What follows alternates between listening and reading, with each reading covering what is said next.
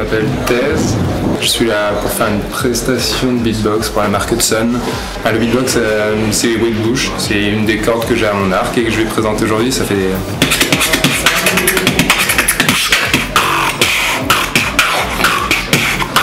You mean my musical background? Yeah. Well, when I was really young, I used to listen to a lot of shitty music, like everybody when everybody is young.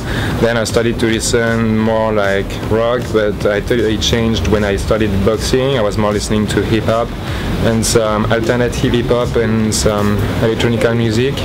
And so, what inspires you for your work? Where'd you get all your inspiration from? From a lot of different things. Um, for example, uh, the alternative things interest me a lot, like science fiction and stuff like that. And then I try to bring it with a cool uh, aesthetic. In music, they wanted more performance about uh, making some beatboxing, what I used to do.